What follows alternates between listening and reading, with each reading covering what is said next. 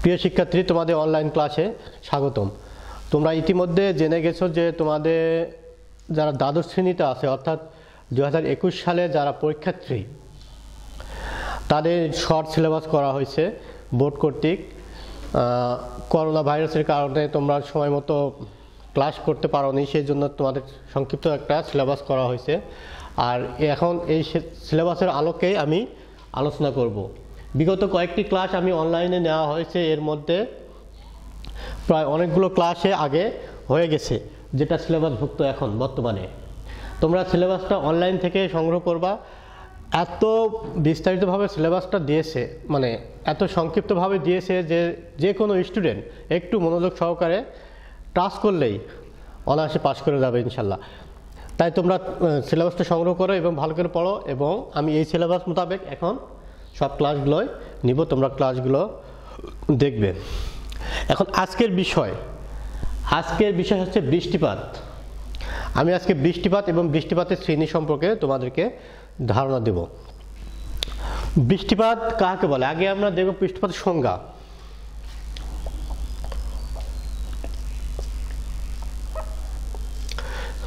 বৃষ্টিপাতের সংজ্ঞা। বৃষ্টিপাত হচ্ছে জলীয় বাষ্পপূর্ণ বায়ু। উপরে উত্থিত হয়ে তাপ বিকিরণ করে শীতল ও ঘনীভূত হয়ে মেঘে পরিণত হয়। পরবর্তীতে মেঘের মধ্যস্থিত পানিকোনাসমূহ পরস্পরের সঙ্গে মিলিত হয়ে বৃহৎ আকার ধারণ করে। যখন তখন এর ভার বৃহৎ আকার যখন বৃহৎ আকার ধারণ করে, তখন এর ভার বায়ুমণ্ডল বহন করতে না পেরে মধ্যাকর্ষণ শক্তির প্রভাবে ভূপৃষ্ঠের উপর ফোঁটা ফোঁটা হিসাবে পতিত হয়, তখন তাকে বৃষ্টিপাত বলা হয়। অর্থাৎ জলবাষ্পপূর্ণ বায়ু উপরে উত্থিত হয়ে তাপ বিকিরণ করে শীতল ও ঘনীভূত হয়ে মেঘে পরিণত হয়। মেঘের মধ্যস্থিত পানিকণা সমূহ পরস্পরের সঙ্গে মিলিত হয়ে বৃহৎ আকার ধারণ করলে এর ভার তখন বায়ুমণ্ডল বহন করতে পারে না। ফলে মধ্যাকর্ষণ শক্তির প্রভাবে ভূপৃষ্ঠে ভূপৃষ্ঠতে ফোটা ফোটা হিসাবে পতিত হলে তাকে বৃষ্টিপাত বলে। তাহলে আমরা বৃষ্টিপাতের সংজ্ঞা জানলাম। এখন বৃষ্টিপাতের শ্রেণি। বৃষ্টিপাত সাধারণত চার ভাগে ভাগ করা হয়ে থাকে।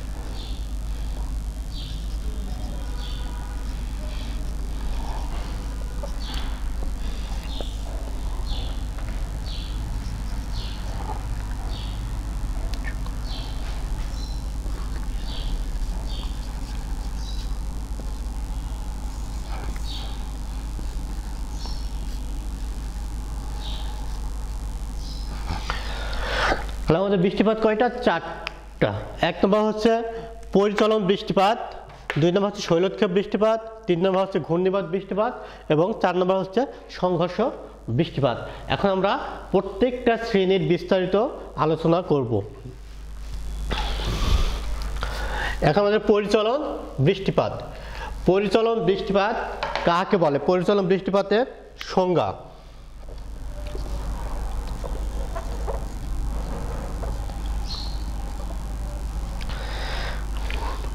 পরিচালন বৃষ্টিপাত হচ্ছে উম, ভূপৃষ্ঠের সংলগ্ন। অর্থাৎ সূর্যতাপের ফলে ভূপৃষ্ঠ সংলগ্ন আর্দ্র এবং উষ্ণ বায়ু বায়ু উপর সরাসরি উপরে উত্থিত হয়ে প্রসারিত হয় এবং পরবর্তীতে উক্ত জল উক্ত বায়ু প্রসারিত হলে তাপ বিকিরণ করে শীতল ও ঘনীভূত হয়ে ঘনীভূত হয়ে যে বৃষ্টিপাত সংঘটিত করে, সেই বৃষ্টিপাতকে বলা হচ্ছে পরিচলন বৃষ্টিপাত। অর্থাৎ ভূপৃষ্ঠ সংলগ্ন থেকে যে বা, ভূপৃষ্ঠ সংলগ্ন থেকে আর্দ্র এবং উষ্ণ বায়ু উপরে উঠে গিয়ে তাপ বিকিরণ করে শীতল ও ঘনীভূত হয়ে যে বৃষ্টিপাত সংঘটিত করে, সেই বৃষ্টিপাতকে বলা হচ্ছে পরিচলন বৃষ্টিপাত। অর্থাৎ সূর্যতাপের মাধ্যমে তাপ তো সাধারণত জলবাষ্প হয়ে উপরে উঠে তথায় ঘনীভূত হয়ে অর্থাৎ তাপ বিকিরণ করে শীতল ও ঘনীভূত হয়ে বৃষ্টিপাত যেটা সংঘটিত হয়, সেটাই হচ্ছে পরিচলন বৃষ্টিপাত। এখন পরিচলন বৃষ্টিপাত সাধারণত কোথায় বেশি হয়ে থাকে, অর্থাৎ কোথায় সংগঠিত হয়? অঞ্চলসমূহ। পরিচলন বৃষ্টিপাত সাধারণত নিরক্ষ অঞ্চলে, নিরক্ষীয় অঞ্চলের পাঁচ ডিগ্রি থেকে দশ ডিগ্রি। অর্থাৎ আমরা যদি মনে করি, এটা পৃথিবী, এটা হচ্ছে নিরক্ষ অঞ্চল মানে জিরো ডিগ্রি। নিরক্ষীয় অঞ্চলে পাঁচ থেকে, এখানে পাঁচ থেকে দশ। ধরুন এটা দশ ডিগ্রি উত্তর গোলার্ধ, এখানে দশ ডিগ্রি দক্ষিণ গোলার্ধ, এখানে পাঁচ ডিগ্রি। অর্থাৎ নিরক্ষীয় অঞ্চলে, নিরক্ষীয় অঞ্চল থেকে উভয় দিকে পাঁচ থেকে দশ ডিগ্রি অক্ষাংশ পর্যন্ত, অর্থাৎ এই অঞ্চলটাতে এই পরিচালন বৃষ্টিপাত সংঘটিত হয়ে থাকে। অর্থাৎ নিরক্ষীয় অঞ্চলে জলাভাগের পরিমাণ বেশি বলে এবং সে অঞ্চলে সূর্যতাপ লম্বভাবে কিরণ দেওয়ার ফলে ওখানে তাপ বেশি এবং ওখান থেকে বেশি জলবাষ্প ধারণ করে বায়ু উপরে উঠে গিয়ে ঘনীভূত হয় তথা বৃষ্টিপাত সংঘটিত করে। সেজন্য এই বৃষ্টিপাতটা নিরক্ষ অঞ্চলে বেশি সংঘটিত হয়ে থাকে। তাহলে দেখা যাচ্ছে নিরক্ষ অঞ্চলে পাঁচ ডিগ্রি থেকে দশ ডিগ্রি উভয় গোলার্ধে বা উভয় অক্ষাংশের মধ্যে নিরক্ষ বৃষ্টিপাত সংঘটিত হয়ে থাকে। যেমন দক্ষিণ আমেরিকার ব্রাজিলের আমাজন নদী অববাহিকা, আফ্রিকার কঙ্গো অববাহিকা আমেরিকা এবং দক্ষিণ এশিয়ার মালয়েশিয়াতে এই বৃষ্টিপাত সংঘটিত হয়ে থাকে। তাহলে কয়টা দেশ হলো? একটা হচ্ছে দক্ষিণ আমেরিকার ব্রাজিলের আমা- আমাজন নদী অববাহিকা, আফ্রিকার কঙ্গো নদী অববাহিকা আমেরিকা, মার্কিন যুক্তরাষ্ট্র এবং দক্ষিণ এশিয়ার মালয়েশিয়াতে এই বৃষ্টিপাত সংঘটিত হয়ে থাকে। পরিচালন বৃষ্টিপাত তাহলে এই বন্টন, এই সব অঞ্চলগুলোতেই হয়ে থাকে। এটা বৈশিষ্ট্য খুব বেশি নয় এই এটার বৈশিষ্ট্য হচ্ছে যে বায়ু সরাসরি উপরে উত্থিত হয়ে যে বৃষ্টিপাত সংঘটিত হয়, এই বৃষ্টিপাত সাধারণত নিরক্ষীয় অঞ্চলে সংঘটিত হয়ে থাকে। এই বৃষ্টিপাত বিশেষ করে প্রত্যেক দিন নিরক্ষ অঞ্চলে বৈকাল থেকে প্রত্যেক দিন বৈকালে সংঘটিত হয়ে থাকে, অর্থাৎ দুপুরের পরে সংঘটিত হয়ে থাকে। এইসবই হচ্ছে এই বৃষ্টিপাতের বৈশিষ্ট্য। এখন আমরা চলে আসি দুই নম্বর কী ছিল? শৈলোৎক্ষেপ বৃষ্টিপাত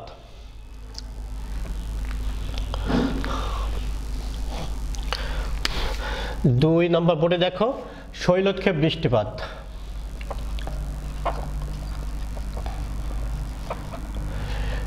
শৈলোৎক্ষেপ বৃষ্টিপাত শৈলোৎক্ষেপ বৃষ্টিপাত হচ্ছে জলীয়বাষ্পপূর্ণ বায়ু। আমরা মনে রাখব যে প্রত্যেকটা বৃষ্টিপাতই সংঘটিত হয় জলীয়বাষ্পপূর্ণ বায়ুর মাধ্যমে। তাহলে জলীয়বাষ্পপূর্ণ বায়ু উপরে ওঠার সময় বায়ু যখনই জলবাষ্প ধারণ করে তখনই বায়ু হালকা হয়, তখন বায়ু এক জায়গায় স্থির থাকতে পারে না, তখন উপরে দিকে ধাবিত হয়। তাই জলবাষ্পপূর্ণ বায়ু যখন উপরে ওঠার সময় ভূপৃষ্ঠের কোনো উচ্চ ভূমি অর্থাৎ পর্বত বা কোনো উচ্চ ভূমি দ্বারা বাধাপ্রাপ্ত হলে উক্ত বায়ু পর্বত গাত্র বেয়ে আরও উপরের দিকে উঠে প্রসারিত হয়। এবং উপরের উপরের তুষারপাত উপরের শীতল, উপরে শীতল এবং তুষারের সংস্পর্শে এসে তাপ বিকিরণ করে ঘনীভূত হয়ে যে বৃষ্টিপাত সংঘটিত করে, সেটাই হচ্ছে শৈলোৎক্ষেপ বৃষ্টিপাত।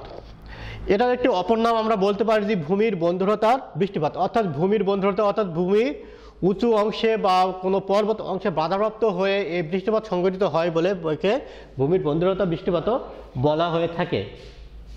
অর্থাৎ জলবাষ্পপূর্ণ বায়ু উপরে ওঠার সময় কোনো উচ্চ ভূমি বা পর্বত দ্বারা বাধাপ্রাপ্ত হয়ে উপরে উঠে প্রসারিত হয় এবং শীতল এবং তুষারের সংস্পর্শে এসে তাপ বিকিরণ করে ঘনীভূত হয়ে যে বৃষ্টিপাত সংঘটিত করে সেটাই হচ্ছে শৈলোৎক্ষেপ বৃষ্টিপাত। এখন শৈলোৎক্ষেপ বৃষ্টিপাত কোন অঞ্চলে সংঘটিত হয়ে থাকে। শৈলোৎক্ষেপ বৃষ্টিপাত সাধারণত আমরা পরিচালন বৃষ্টিপাত পাঁচ থেকে দশ ডিগ্রি, উভয় গোলার্ধের মধ্যে সংঘটিত হয়। এখন শৈলক্ষ বৃষ্টিপাত হচ্ছে দশ থেকে তিরিশ ডিগ্রি। দশ থেকে তিরিশ ডিগ্রি পর্যন্ত। ধরে নাও এটা তিরিশ ডিগ্রি। এখানে তিরিশ ডিগ্রি, দশ থেকে তিরিশ ডিগ্রি উভয় গোলার্ধের মধ্যে পরিলক্ষিত হয়ে থাকে। আমরা জানি আমাদের অঞ্চলে যে বৃষ্টিপাত সংঘটিত হয় বর্ষাকালে, সেটাই হচ্ছে সাধারণত শৈলক্ষেপ বৃষ্টিপাত। অর্থাৎ দক্ষিণ পশ্চিম মৌসুম, মৌসুমী বায়ুর প্রভাবে, আমাদের বর্ষাকালে দক্ষিণ পশ্চিম মৌসুমী বায়ুর প্রভাবে, মৌসুমী বায়ু যখন জলভাগের উপর দিয়ে প্রবাহিত হয়ে, উত্তর দিকে প্রবাহিত হয়ে আসে, তখন হিমালয় পর্বতে বাধাপ্রাপ্ত হয়ে দক্ষিণ পশ্চিম মৌসুমী বায়ু প্রবাহিত হয়ে হিমালয় পর্বতে বাধাপ্রাপ্ত হয়ে হিমালয়ের দক্ষিণ পাশে। অর্থাৎ হিমালয় পর্বতের দক্ষিণ পাশে বাংলাদেশ, ভারত, চীন, মায়ানমার, শ্রীলঙ্কা, নেপাল, ভুটান পূর্ববর্তী অঞ্চলে প্রচুর পরিমাণে বৃষ্টিপাত সংঘটিত করে থাকে। এই শৈলক্ষেপ বৃষ্টিপাতে হচ্ছে আমাদের বর্ষাকালে এই যে বৃষ্টিপাত সংঘটিত হয়, সেই বৃষ্টিপাত। তাহলে আমরা বলতে পারছি যে বৃষ্টিপাত সংঘটিত অঞ্চলগুলো হচ্ছে বাংলাদেশ, ভারত, চীন, মায়ানমার এই মায়ানমার, শ্রীলঙ্কা ইত্যাদি দেশগুলোতে। তাহলে আমরা দেখলাম যে বৃষ্টিপাত কি হচ্ছে? এই বৃষ্টিপাতের বৈশিষ্ট্য যদি আসে, তাহলে কি লিখতে পারব? এই বৃষ্টিপাত সাধারণত ভূমি, পর্বত বা উচ্চভূমি দ্বারা বাধাপ্রাপ্ত হয়ে সংঘটিত হয়। এই বৃষ্টিপাত সাধারণত সংঘ- মুষলধারে সংঘটিত হয় এবং এই বৃষ্টিপাত একাধারে একাধারে দুই থেকে তিন দিন বা চার দিন পর্যন্ত সংঘটিত হতে পারে। এটাই হচ্ছে শৈলক্ষেপ বৃষ্টিপাতের বৈশিষ্ট্য। এখন তিন নম্বর আমাদের ছিল ঘূর্ণিবাত বৃষ্টিপাত। ঘূর্ণিবাত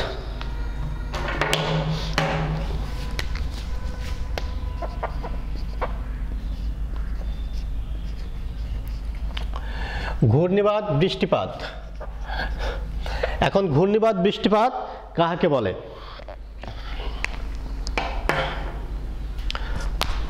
ঘূর্ণিবাত বৃষ্টিপাত লক্ষ্য করব যে ঘূর্ণিবাতের কেন্দ্রস্থলে নিম্নচাপ থাকায়। অর্থাৎ এখানে একটা ভূমি, এখানে একটা ভূমি এটা, এখানে ঘূর্ণিবাতের কেন্দ্রস্থল।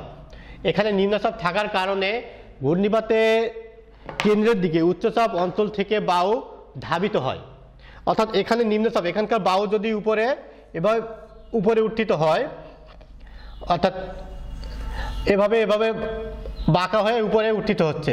তাহলে এখানে নিম্নচাপ দেখা দিলে তাহলে উচ্চচাপ অঞ্চলগুলো থেকে নিম্নচাপ অঞ্চলের দিকে বাউ ধাবিত হয়ে ওই নিম্নচাপ কেন্দ্রে এখানে নিম্নচাপের মাধ্যমে উপরে উঠে প্রসারিত হচ্ছে। আমরা তো জানি সাধারণত উচ্চচাপ অঞ্চল থেকে সারা জীবন সব সময় নিম্নচাপ অঞ্চলের দিকে ধাবিত হয়। অর্থাৎ তেমনি ঘূর্ণিবাত কেন্দ্রে নিম্নচাপ থাকার কারণে উচ্চচাপ অঞ্চল থেকে বায়ু ঘূর্ণিবাতের কেন্দ্রের দিকে ধাবিত হয়ে উপরে উঠে প্রসারিত হয়। এবং উপরে উঠে প্রসারিত হয়ে তথায় কি করে? তাপ বিকিরণ করে শীতল এবং ঘনীভূত হয়ে উক্ত ঘূর্ণিবাত অঞ্চলে প্রচুর পরিমাণে বৃষ্টিপাত সংঘটিত করে। প্রচুর পরিমাণে বৃষ্টিপাত সংঘটিত সংঘটিত করে। এভাবে সংঘটিত বৃষ্টিপাতকে ঘূর্ণিপাত বৃষ্টিপাত বলা হয়। বোঝা যাচ্ছে? আমরা আবার বলি নিম্নচাপ ঘূর্ণিপাতের নিম্ন ম- কেন্দ্রস্থলে, অর্থাৎ ঘূর্ণিপাতের কেন্দ্র নিম্নচাপ থাকার কারণে উচ্চচাপ অঞ্চলগুলো থেকে বাউ নিম্নচাপ, অর্থাৎ ঘূর্ণিপাতের কেন্দ্রে ধাবিত হয়ে উপরে উঠে প্রসারিত হয়। এবং পরবর্তীতে তাপ বিকিরণ করে ঘনীভূত হয়ে উক্ত অঞ্চলে, ঘনীভূত হয়ে যে বৃষ্টিপাত সংঘটিত করে, তাকে ঘূর্ণিবাত বৃষ্টিপাত বলে। এই বৃষ্টিপাত সাধারণত নিরীক্ষ অঞ্চলের, অর্থাৎ পাঁচ ডিগ্রি থেকে, এখানে দেখো, এখানে পাঁচ ডিগ্রি আছে, পাঁচ ডিগ্রি থেকে পঁয়ষট্টি ডিগ্রি। ঘূর্ণিপাত হচ্ছে এখান থেকে, পাঁচ ডিগ্রি থেকে পঁয়ষট্টি ডিগ্রি। উভয় গোলার্ধে পাঁচ ডিগ্রি থেকে পঁয়ষট্টি ডিগ্রি অক্ষাংশ পর্যন্ত এই বৃষ্টিপাত সংঘটিত হয়ে থাকে। এই বৃষ্টিপাত সাধারণত ভারত এবং বাংলাদেশে আশ্বিনে ঝড় এবং কালবৈশাখী ঝড়ের মাধ্যমেও প্রচুর পরিমাণে বৃষ্টিপাত সংঘটিত করে থাকে। বৈশাখী, কালবৈশাখী ঝড় এবং আশ্বিনে ঝড়। আশ্বিন মাসে যে আশ্বিনের ঝড় এবং বৈশাখের পর যে আমাদের কালবৈশাখী ঝড় সংঘটিত হয়, সেই সেই সংঘটিত কালবৈশাখী ঝড়ের সময় যে বৃষ্টিপাত সংঘটিত হয় সেটাই সাধারণত ঘূর্ণিপাত, বৃষ্টিপাত। এছাড়াও ভারতীয় দ্বীপপুঞ্জ এবং মার্কিন যুক্তরাষ্ট্রেও এই বৃষ্টিপাত সংঘটিত হয়ে থাকে।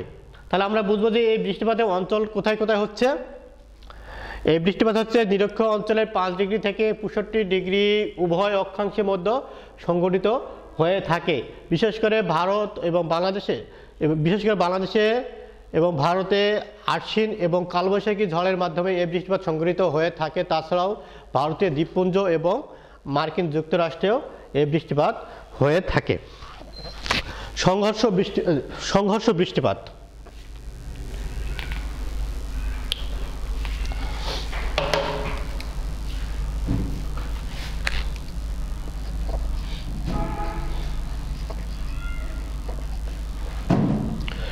সংঘর্ষ বৃষ্টিপাত।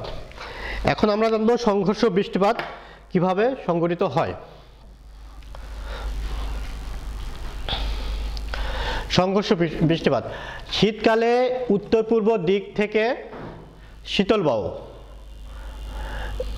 শীতকালে উত্তর পূর্ব দিক থেকে শীতল বায়ু শীতল বায়ু এবং উত্তর পূর্ব দিক হতে শীতল বায়ু এবং দক্ষিণ ক্রান্তীয় অঞ্চল থেকে উষ্ণ বায়ু অর্থাৎ দেখা যাচ্ছে যে আমরা মনে করি যদি এটা উত্তর, এটার উপরে যদি অংশ উত্তর, এটা যদি দক্ষিণ ধরা যায়, তাহলে দেখা যাচ্ছে যে আমরা যদি উত্তর দিকে ডান দিকে আমাদের কি হবে? পূর্ব হবে। আমরা উত্তর মুখ হয়ে যখন দণ্ডায়মান হব, তখন ডান দিকে আমরা পূর্ব এবং বামে পশ্চিম হবে। সেভাবে বলতেছি, শীতকালে উত্তর পূর্ব দিক থেকে, এই দিক থেকে, তাহলে উত্তর পূর্ব এই দিক হচ্ছে। উত্তর পূর্ব দিক থেকে শীতল বায়ু এবং ক্রান্তীয় অঞ্চল থেকে অর্থাৎ দক্ষিণ ক্রান্তীয় ক্রান্তীয় উষ্ণ বায়ু দক্ষিণ পশ্চিম দিক থেকে। তাহলে দেখা যাচ্ছে এদিকে, দক্ষিণ পশ্চিম দিক থেকে প্রবাহিত হয়ে থাকে। এই দুই বায়ু এই দিক থেকে শীতল বায়ু এবং এদিক থেকে উষ্ণ বায়ু দুই বায়ু দুই দিক থেকে প্রবাহিত হওয়ার সময় তারা দুই বায়ু পরস্পরের বিপরীতমুখী প্রবাহিত হতে হতে যখন তারা দুই বায়ু মুখোমুখি সংঘর্ষ হয় বা পাশাপাশি সংঘর্ষ হয়, তখন একটা বায়ু সংঘর্ষের মাধ্যমে এই বায়ু প্রাচীর এখানে একটা বায়ু প্রাচীর দেখা দেয়। এখানে বায়ুর যাওয়ার কারণে এখানে একটা প্রাচীরের সৃষ্টি হয়। মানে এদিকে উষ্ণ বায়ু এদিকে শীতল বায়ু এই বায়ু প্রাচীরের নিকট স্তরে দুই বায়ু মুখোমুখি সংঘর্ষের কারণে যে বৃষ্টিপাত সংঘটিত হয়, সেটাই হচ্ছে সংঘর্ষ, বৃষ্টিপাত।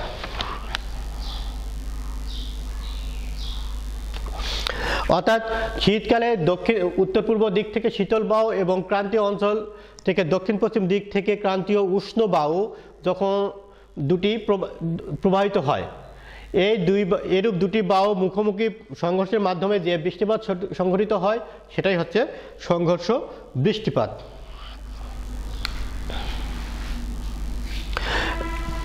এই বায়ুর অঞ্চল, না সরি এই বৃষ্টিপাতের অঞ্চল হচ্ছে কোন কোন অঞ্চলে এই বৃষ্টিপাত সংঘটিত হয়ে থাকে। এই বৃষ্টিপাত সাধারণত পঁয়ত্রিশ ডিগ্রি থেকে, এখানে তিরিশ ডিগ্রি যদি হয়, তাহলে এখানে হবে কত? পঁয়ত্রিশ ডিগ্রি। পঁয়ত্রিশ ডিগ্রি থেকে, পঁয়ত্রিশ ডিগ্রি থেকে পঁয়ষট্টি ডিগ্রি পর্যন্ত মানে এই অঞ্চলটা পঁয়ত্রিশ ডিগ্রি থেকে পঁয়ষট্টি ডিগ্রি। অর্থাৎ আমরা দেখি পঁয়ত্রিশ ডিগ্রি থেকে পঁয়ষট্টি ডিগ্রি। এই অঞ্চলটা, এই অঞ্চলটাই হচ্ছে সংঘর্ষ বৃষ্টিপাতটা সংঘটিত হয়ে থাকে। তাহলে দেখা যাচ্ছে যে আমাদের যে নিরক্ষ অঞ্চলে সংঘটিত হচ্ছে না, অর্থাৎ বাংলাদেশেও সংঘটিত হচ্ছে না, তাহলে এই বৃষ্টিপাত কোথায় কোথায় হচ্ছে? পঁয়ত্রিশ ডিগ্রি থেকে পঁয়ষট্টি ডিগ্রি উভয় অক্ষাংশের মধ্যেও এই বৃষ্টিপাত সংঘটিত হয়ে থাকে। এই বৃষ্টিপাত বিশেষ বিশেষ করে মার্কিন যুক্তরাষ্ট্র এবং ব্রিটিশ দ্বীপপুঞ্জে বেশি সংগঠিত হয়ে থাকে। তাহলে শিক্ষার্থী, আজকে আমরা জানলাম যে বৃষ্টিপাত কাকে বলে এবং বৃষ্টিপাতের শ্রেণি এবং এর বিস্তারিত আলোচনা। আমরা এখন বৃষ্টি, এই অংশে বৃষ্টিপাত যে অধ্যায় আছে শুধু মেঘ ও বৃষ্টিপাত, কিন্তু একদিনে ক্লাসটা বড় হয়ে যাবে বলে আমি মেঘ, হয়তো আগামী ক্লাসে তোমাদের আলোচনা করব। তাই আজকে বৃষ্টিপাত যে শেষ করছি আজকের ক্লাস। তোমরা ভালো থেকো। খুদা হাফেজ।